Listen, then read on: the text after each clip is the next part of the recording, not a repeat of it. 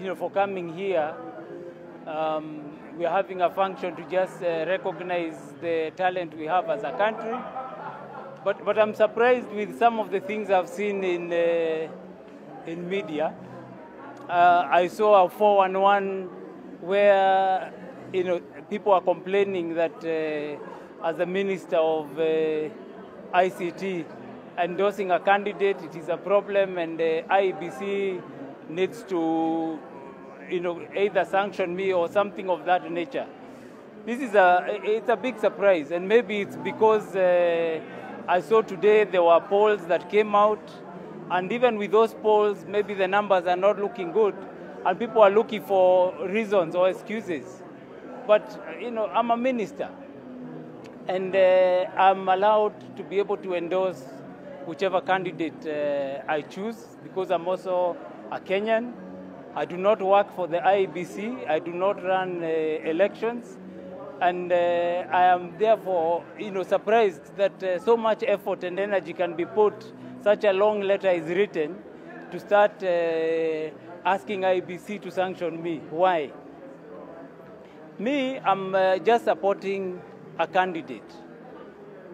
One of my bosses is in uh, government today and is running for office, and now they are saying that he that I have more capability than he does, and yet he is the sitting deputy president running as a candidate. Is it me who has more resources or him who has more resources that now they are saying they focus on me? I think they should focus on themselves and they should focus on their campaigns. I'm not campaigning for them. And I don't know why they're taking this uh, position, picking me, picking even my colleagues, and saying that we should not be engaged in politics. You know, I came from private sector, and much earlier, you know, in 2017, we were campaigning together with the same person. Why is it that now I'm campaigning for somebody else that it's now seeming different, and yet in 2017 uh, it was okay? So I'm just finding this is a fuss. None of us are in uh, IBC. IEBC is an independent institution. If they're going to investigate, they should be investigating.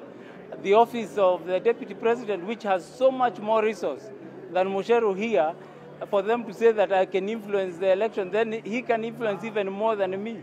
So I don't have much more to say than that, but to say they, they should just focus on their campaigns, move their agenda, and, and leave us out.